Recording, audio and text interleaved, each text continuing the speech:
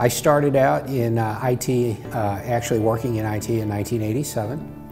Um, so I've been doing this for almost 28 years now. And uh, I was getting to the point to where, you know, I was kind of thinking about getting a master's degree, but in the current position that I'm in, a master's degree would, would not have really uh, got me much further than I am now. So I started thinking about the whole teaching aspect, and so after I had seen the commercials for WGU Missouri, I asked my wife, what do you think about this? Is this something that you really think I should do? And she more or less said, well, I'm surprised that you never really did go back to get your master's degree anyway. I chose WGU for several reasons. The first and foremost reason I think was it fit my schedule it fit my goals.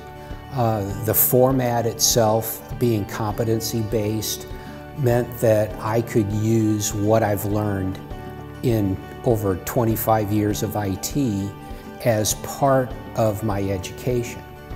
In other words, I wasn't just learning uh, about things and taking tests, I was actually proving that I could actually be able to do things.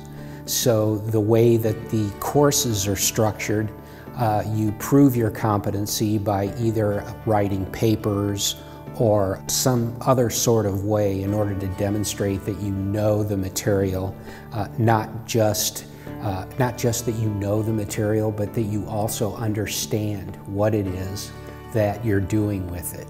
Probably the best words of wisdom I would say is don't make excuses, if it's going to take you two years to do it, you're going to be two years older anyway. You might as well be two years older with a degree.